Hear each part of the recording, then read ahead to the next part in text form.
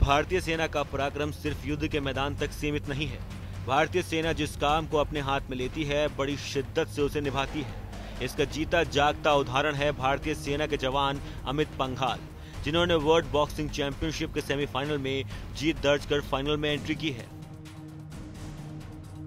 अमित पंघाल ने शुक्रवार को खेले गए क्वार्टर फाइनल में कजाकिस्तान के साकेन बीबी सोनोव को करीबी मुकाबले में हराया।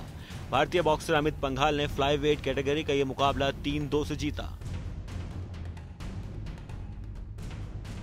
कौन है फाइनल में पहुँचने वाले अमित? भारतीय सेना के 22 महार रेजिमेंट में नायब सूबेदार अमित पंघाल पावन किलो कैटेगरी में वर्ल्ड बॉक्सिंग चैंपियनशिप में पहुँचने वाले पहले भारतीय पुरुष बने हैं।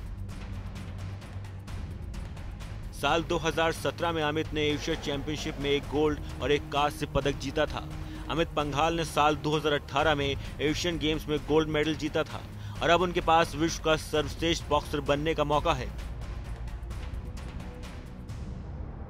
अमित के बॉक्सिंग के जुनून को आप इस तरह समझिए कि उन्होंने साल 2016 में आर्मी स्पोर्ट्स इंस्टीट्यूट ज्वाइन किया था और तब से लेकर आज तक उन्होंने कोई छुट्टी नहीं ली। अमित पंघाल के साथ साथ भारतीय बॉक्सर मनीष कौशिक भी इस मुकाबले में क्वार्टर फाइनल तक पहुँचे थे। लेकिन मनीष को कांस्य पदक से ही संतोष करना पड़ा। भारतीय सेना के जवान अमित पंघाल के पास अब विश्व बॉक्सिंग चैंपियनशिप में पहला गोल्ड मेडल जीतने का मौका है।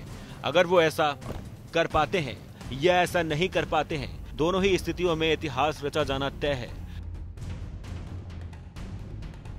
अगर अमित हारे तो उन्हें सिल्वर मेडल मिलेगा, जो अब तक किसी भारतीय बॉक्सर को नहीं मिला। अमित की इस ऐतिहासिक जीत के बाद उन्हें हर कोई बधाई दे रहा है। इंडियन आर्मी ने अपने ट्विटर अकाउंट से अमित पंघाल और मनीष कौशिक को बधाई दी। आपको बता दें कि भारतीय महिला बॉक्सर मैरीकॉम छह बार विश्व चैंपियन बन चुकी हैं, लेकिन अब तक कोई भारतीय पुरुष इस मुकाबले के फाइनल में नहीं पहुँचा था। भारत के चार पुरुष बॉक्सरों ने ज़रूर विश्व बॉक्सिंग चैंपियन में ब्रॉन्ज मेडल जीते हैं। साल 2009 में विजेंद्र सिंह ऐसा करने वाले पहले बॉक्सर हैं। वहीं साल 2011 में विकास कृष्णन, साल 2015 में शिवा थापा और साल 2017 में गौरव बिदुड़ी भी ब्रॉन्ज मेडल जीत चुके हैं। लेकिन सबसे खास बात यह है कि भारतीय सेना का जवान इस मुकाबले के आखिरी पड़ाव में है। वो अपने आप में एक गर्व की बात है। ब्यूरो रिपोर्ट, भारत तक।